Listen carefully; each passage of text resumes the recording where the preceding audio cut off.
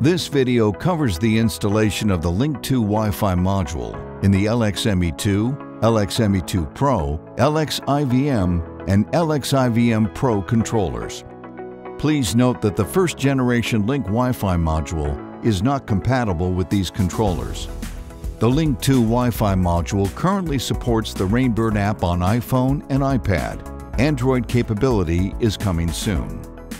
Open the controller front panel and insert the Link 2 Wi-Fi module into the accessory slot. The Link 2 should start blinking blue. If it's not blinking blue, it may need to be reset. Simply hold the button down for about 5 seconds until you see a yellow light.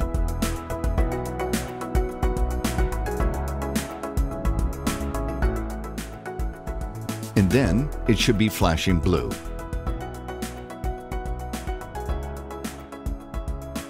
Next, we'll open the Rainbird app and click Add a controller. In this example, we're using an LXME2. Our lights were flashing blue, so we'll click that icon. Be sure to verify that the mobile device has Bluetooth enabled. As you can see, the Link 2 shows a Bluetooth connection is available. We'll click on it to connect.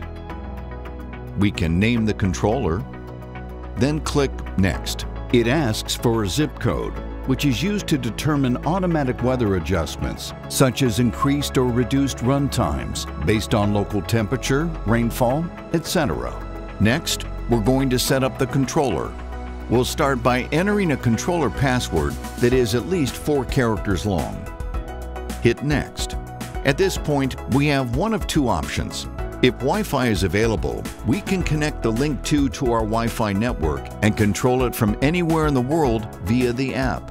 If we don't have a Wi-Fi network, we can control it in direct mode. Let's use the direct mode and click No, since we do not have a local Wi-Fi. Now it's asking to enter permanent AP hotspot mode. This creates a direct channel to the controller via Wi-Fi. Hit Next. Click Join to connect to another controller. The app warns that it's not set up in Wi-Fi.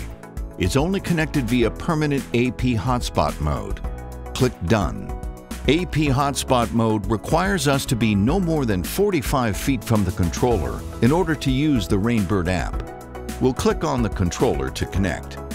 On the main screen, we can edit programs, we can also water manually by running all zones in order, by running a program, or by setting a custom watering schedule. We can send email invites if we have more people who want to edit and use the same controller, and we can remove the controller. We can access each station and edit the station priority, as well as the station name. We can add weather sensors, we can also manually set a watering delay due to weather or other event. We can also edit any of our irrigation programs, including watering frequency, start times, etc. If connected to Wi-Fi, enabling automatic seasonal adjust allows the controller to make daily adjustments based on local weather data.